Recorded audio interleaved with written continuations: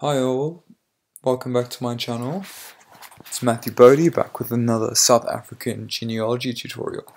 So today I'm going to just be going through a practical example of a query that was posted on the South African genealogy um, Facebook group.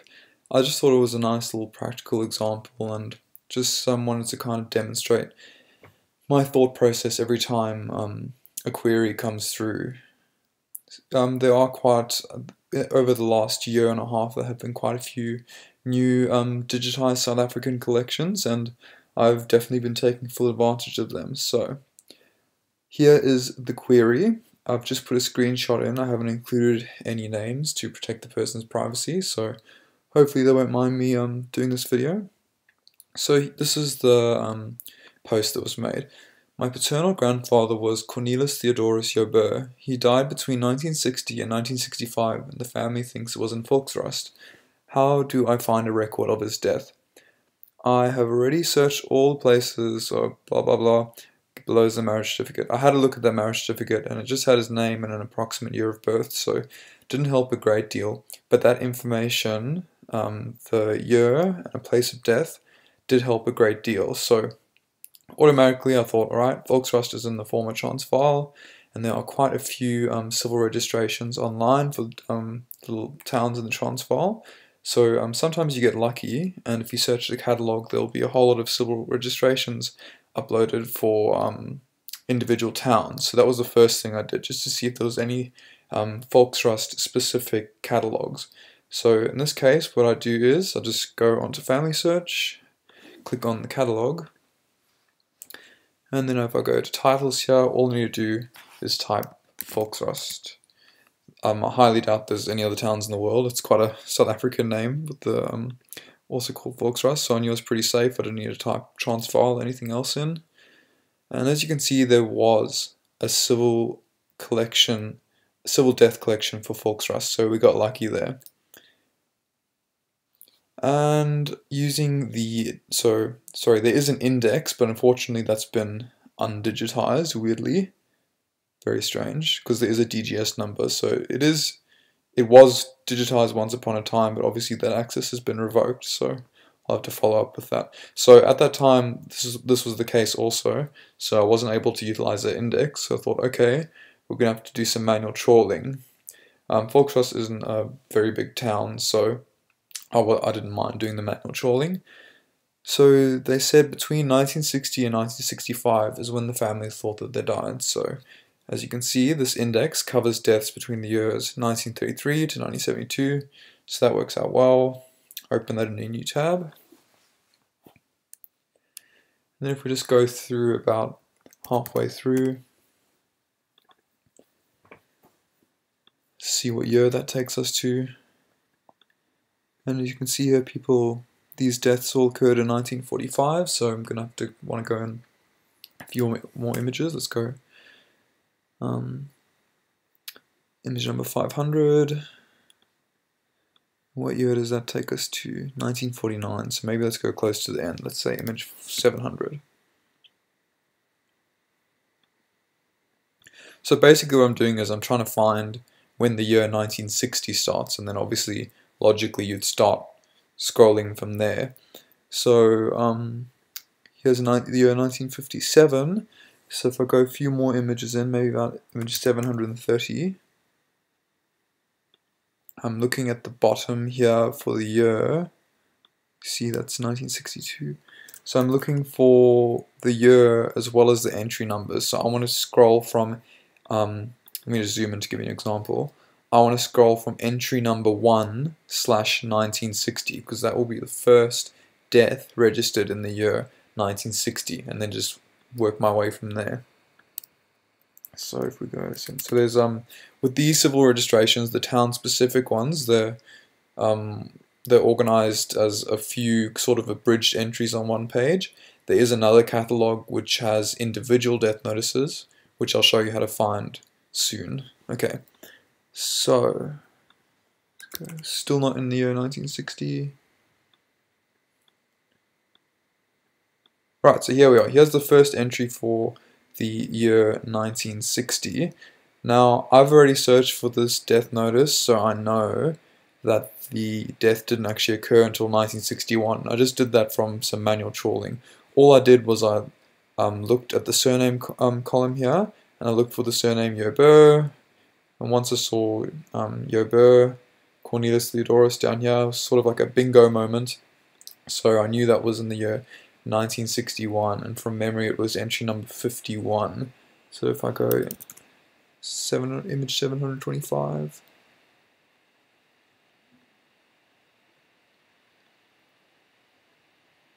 right. Let's go back a bit.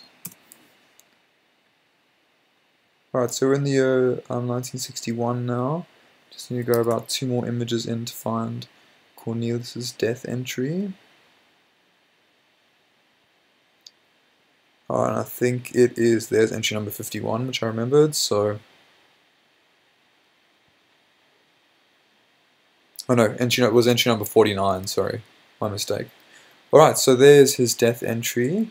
And as you can see, it gives us a bit of information which we never had before, such as the fact that um, uh, he was born on the 24th of August 1910, which is new information. Before that, we only knew an approximated year of birth. So as I said, these town-specific civil registrations only give you, um, it doesn't give you the full information at the time the death was registered. For that, you'd actually need to find the form of information of death, which is um, also known as a civil death notice, or um, I suppose you could also call it a vault copy death certificate, which is what it really is. So to do that, I'm going to want to go to one of my favorite catalogs, as morbid as it may sound, and it is the South Africa, the South African Civil Deaths catalog, which covers the years 1955 to 1966.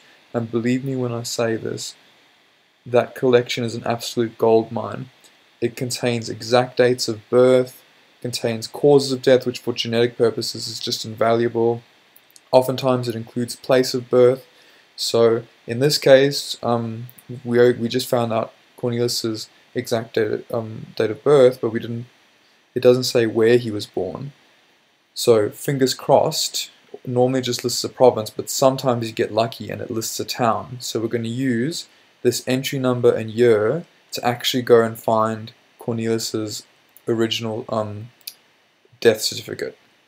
So, titles. Um, the catalogue that I referenced earlier is the South African Deaths Catalogue from 1955. So I'm just going to type South Africa Death 1955. And there you go.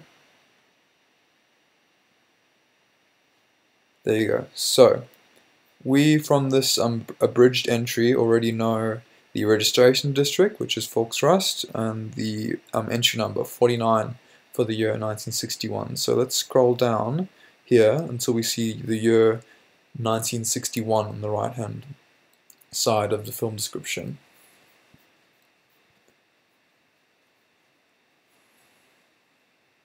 Right, so here we're in the year 1961.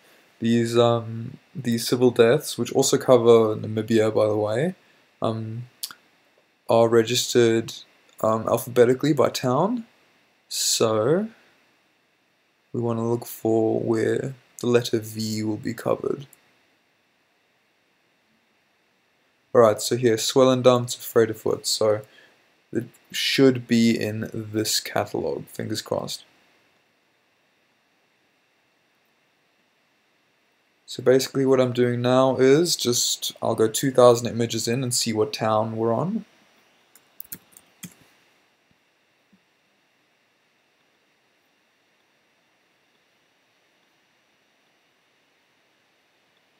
So Vereeniging, let's um, go a few more images in until we get to Volksrust. Virginia, no.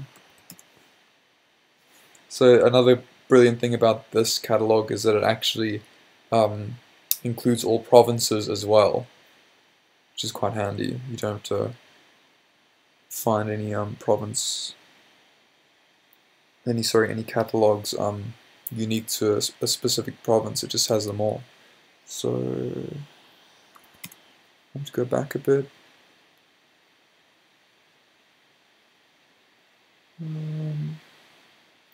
Should be almost there. Yeah, Volksrust. So, um, this is entry number 37 for the year 1961. So, and we want um, entry number 49. So we're going to go in 12 more images. So let's go 2513.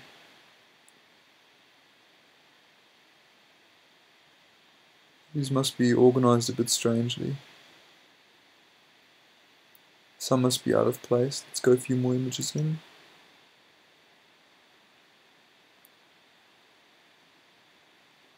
Okay, so then here we have it. So here is Cornelius's original form of information of death. So now we have his full name, which we had before, his date of birth, and now at the time I was originally looking for this, I was keeping my fingers crossed it would list a town of birth, and that it did, which was a very exciting moment because with this information, a date of birth, town of birth, and very Afrikaans names like Cornelius Theodorus Joubert, I knew it was very likely he was baptized in a Dutch Reformed church um, in that town. I'm not even going to try and pronounce it because my Afrikaans pronunciations aren't the greatest.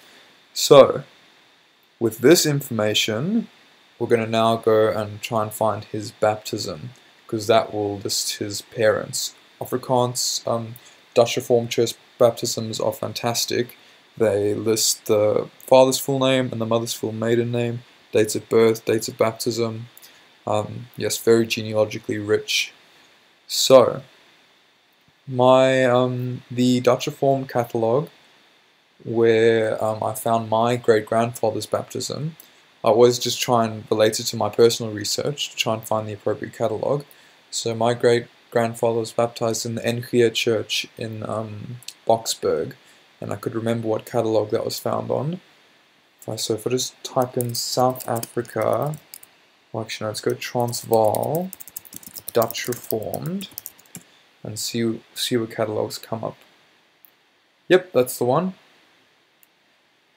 So this is the NHK and the NGK church registers. I think for, I posted a query about this in the genealogy group and um, I think they combined for a time.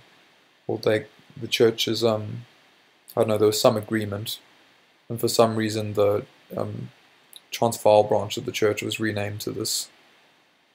Anyway, I don't know the full story, but this is the catalogue where the NG baptisms are contained for the Transvaal. So we are looking for the year 1910.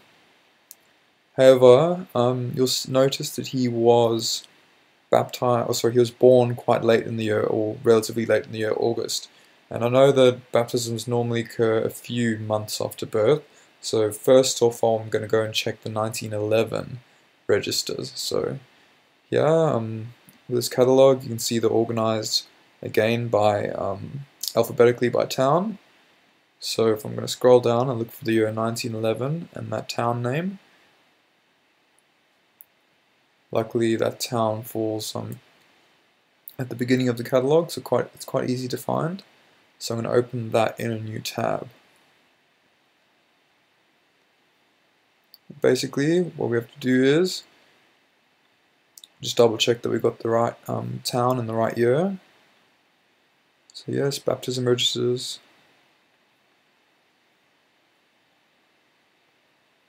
And then it just gets scrolling. So basically what I'm looking for right now are the first names Cornelius Theodorus. You can also search by the surname Joubert by looking in that column, but I figured we have first names, so let's try search by that first. So I'm going through here, looking for anyone with the name Cornelius Theodorus. You notice every baptism has a number next to it, so you'll never get lost browsing through these records. Just make sure you've looked at every number for the page.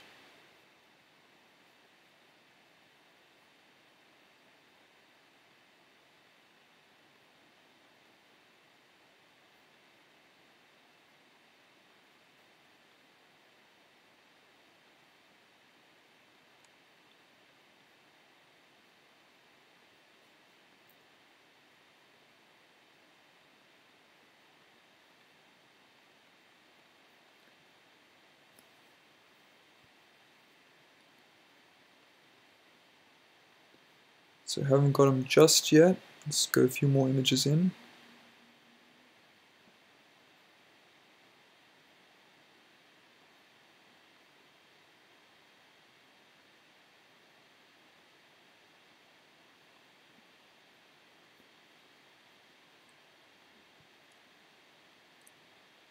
And here we have it. It was a pretty awesome moment for all involved finding this record.